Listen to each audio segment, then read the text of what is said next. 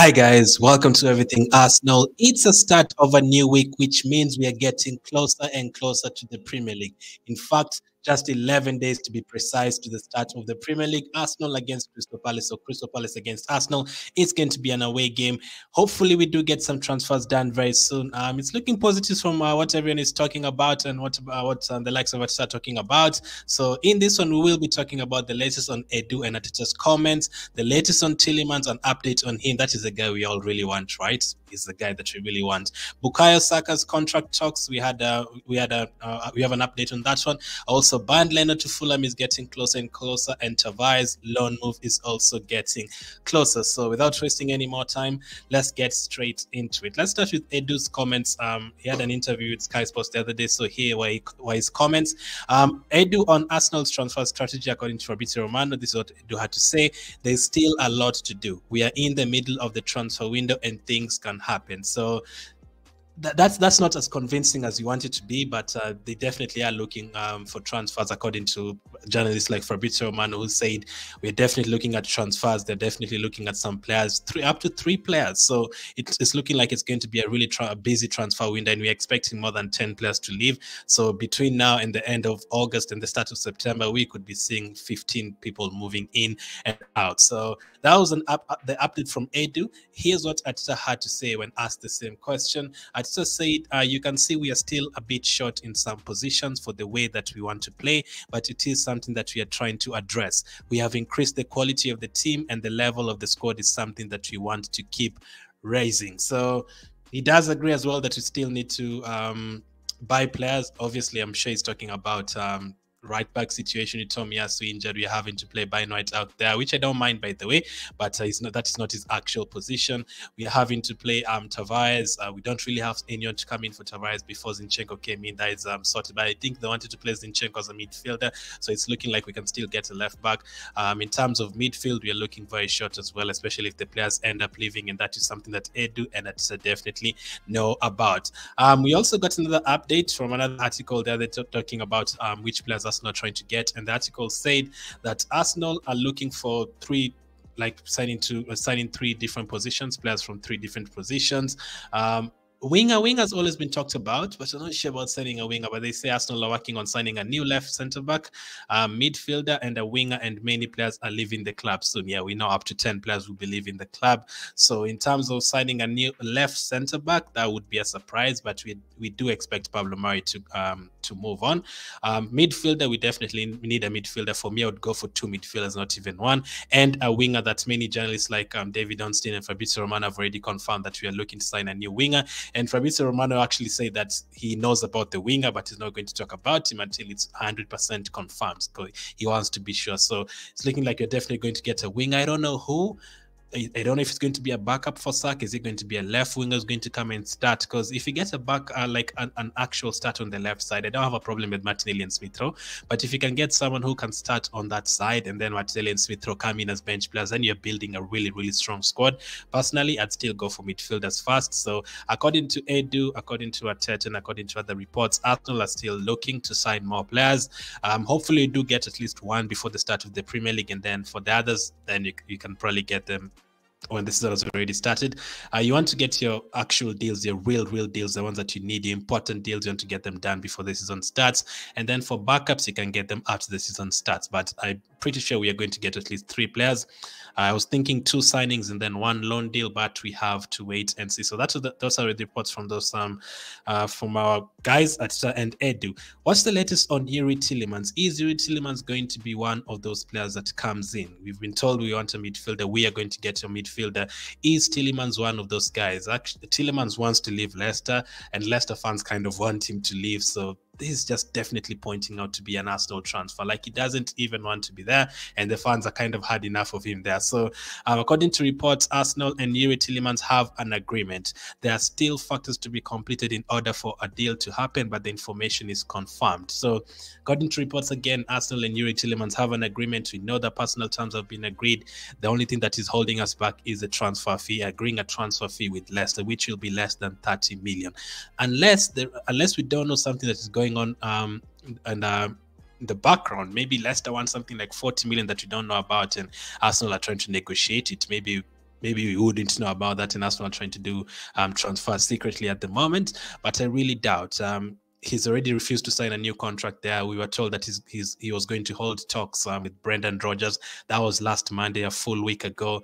Um, he's already played a, a couple of uh, preseason games for them, I think against Derby and another team, and he played both of them, and he was a captain, I think, in one of them.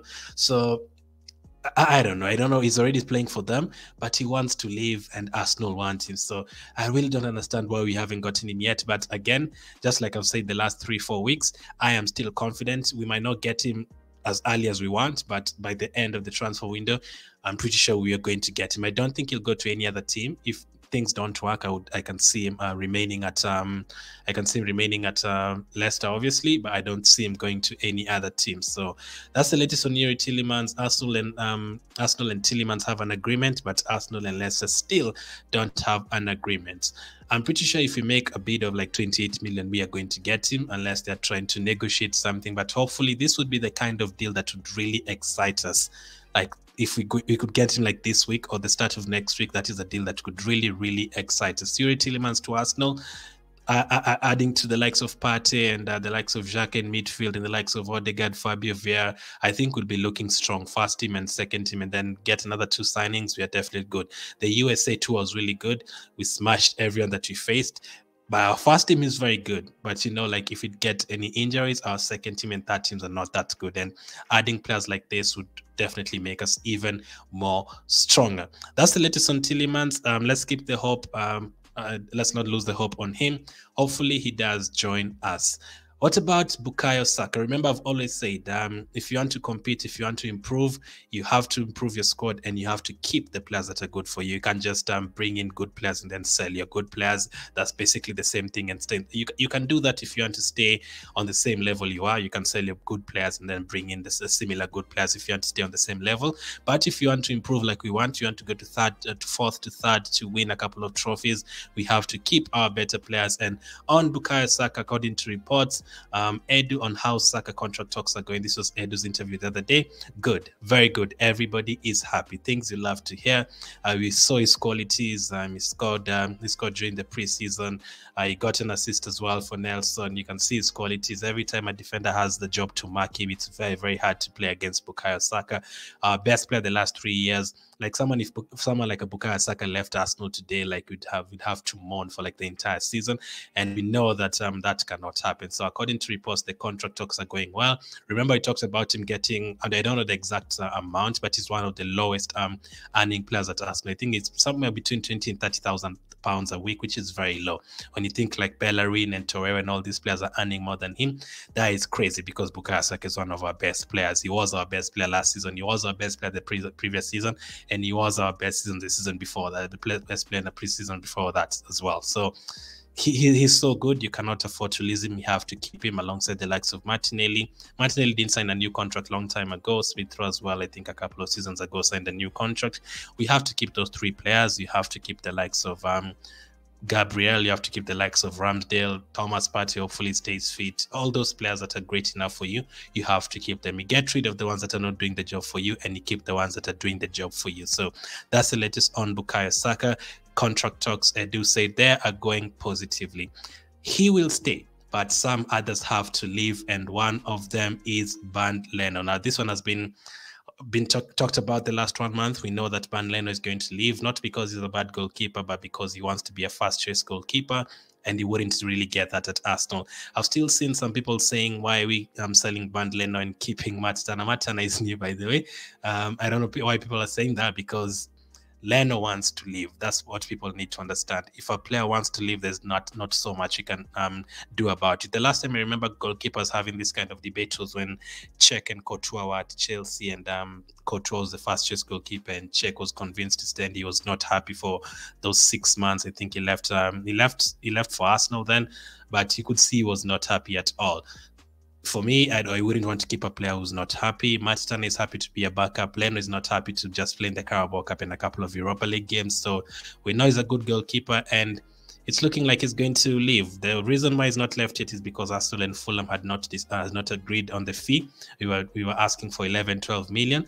But surprisingly, it's looking like he's, he's going to even go for lower than what we expecting in the first place. So according to reports, Bernd Leno is close to joining Fulham for a fee of 8 million, according to Sam Dean. Just 8 million that's a bit of a blow. Uh, yes, if you add that to all the other players you're going to sell, yes, you can probably get one good player from that.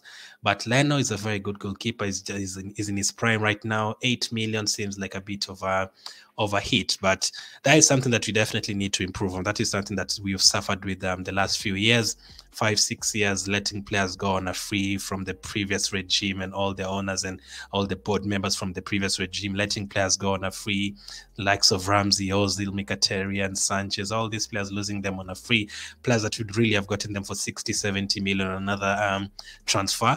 Line 8 million seems like a bit um, of a hit, really. It is a hit, let's be honest. I would have loved something like 15 or 16 million for him.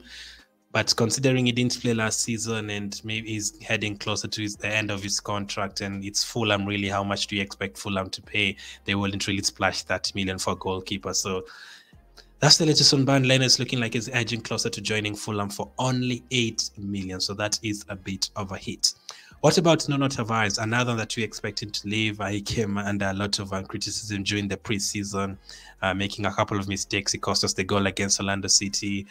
Several fans are not happy with him. Several fans are actually asking for him to be sold. So, what's the latest on him? According to reports, we all know that Real Sociedad wanted him, Atalanta wanted him, and Brighton wanted him. But uh, sorry, according to reports, the deal between Arsenal and Atalanta for Nuno Tavares is essentially a loan with option to sell for Arsenal more than it is an option to buy for Atalanta. So I'm hearing that Atalanta didn't want to buy him fast or to get him on loan unless Arsenal added an option to buy in the clause. But I'm also hearing that Arsenal added an option to buy and an option to like keep or something crazy like that. So it's a it's a bit of a complicated um, uh, contract the more we hear about it, um, the the closer it gets to joining Atalanta. We'll do some investigation in that and how the deal will work. But it's looking like Atalanta are willing uh, are willing to actually buy him in the future. Uh, no, uh, like basically, even if it comes to Arsenal, like if Arsenal decided decide to sell him the next three years, Atalanta still the first option for him from Arsenal. Basically, that is what Atalanta wants. So even if uh, you gets back to Arsenal and plays poorly for another two years.